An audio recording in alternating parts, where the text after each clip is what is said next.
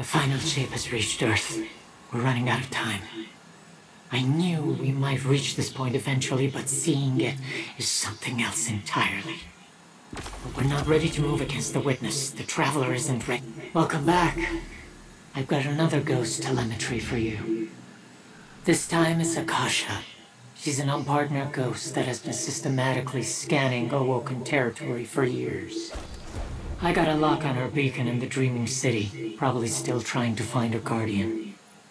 I need you to head out and find Akasha and bring her back safe and sound. I look forward to your return.